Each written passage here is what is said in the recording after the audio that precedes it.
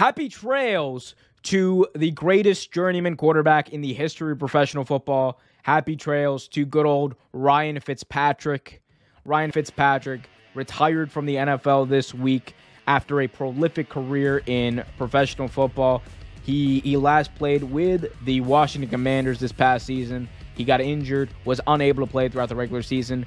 A former seventh round pick in 2005 with the St. Louis Rams. Fitzpatrick has played for, let's count it, one, two, three, four, five, six, seven, eight, nine, nine teams in over 16, 17, 17 seasons in the NFL and made a name for himself 223 touchdowns, 169 interceptions, almost 35,000 yards on the dot passing, 60% completion percentage, over 2,000 rushing yards, and 21 touchdowns. Ryan Fitzpatrick, if there's any journeyman quarterback, any journeyman quarterback that makes a case to be a Hall of Famer for just being a journeyman quarterback, it's Ryan Fitzpatrick. And look, I know that there's people out there, there is a dynamic. The dichotomy of Fitzpatrick is not lost on me.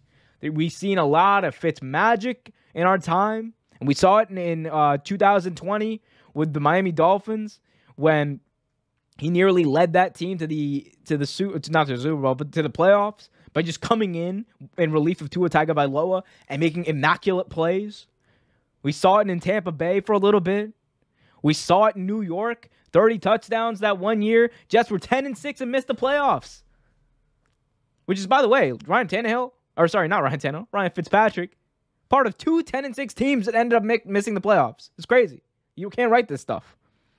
The dude never played in a playoff game, but ever since he had that, like, I think it was what, 2011, 2010, 2011, one of those years, it was a year with the Buffalo Bills where they started off pretty hot. I think they were like, they were like, uh, six and two or something.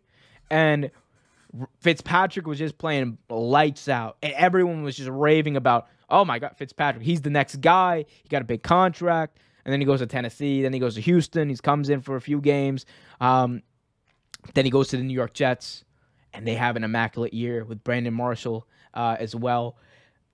Next year isn't too great. He goes to Tampa Bay in relief of Jameis Winston we see Fitzpatrick put up some insane numbers. Like uh, he had like multiple games of five touchdowns.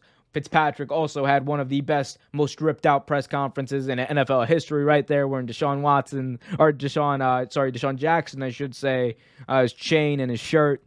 Uh, he, like he's a guy who the beard is iconic, the touchdowns are iconic, the interceptions are just as iconic, and the the ballad of Fitzpatrick will be told. Like I know there's a lot of journeyman quarterbacks out there in NFL history.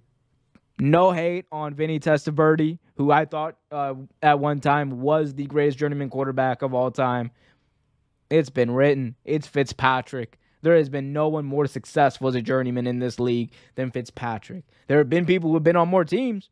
talking to you, Josh Johnson, but there's no one like Ryan Fitzpatrick and who has had the the high highs and the low lows and the only thing that we can say the only the biggest thing that we can say honestly is it's just it just sucks that we never got to see what he could do in the playoffs. And granted, he didn't have a great winning percentage, 59 wins, 87 losses, and a tie.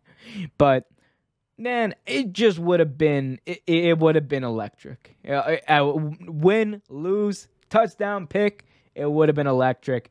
But happy trails to Ryan Fitzpatrick. Have a happy retirement. You deserve it. Hey everyone, we hope you liked this video. If you did, be sure to hit that like button, subscribe, and hit that notification bell so you get notified whenever a new video is released. Until next time, keep it real.